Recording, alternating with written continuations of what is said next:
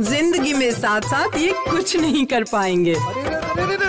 अरे आप पंचर पहिए पे ये गाड़ी कहाँ तक चलाएँगे? जिस राजा रानी का ऐसा है आरंभ क्या वो कर पाएँगे एक दूसरे की ज़िंदगी का नया शुभारंभ? शुभारंभ 6 अगस्त से सोमवार से रविवार रात 8 बजे।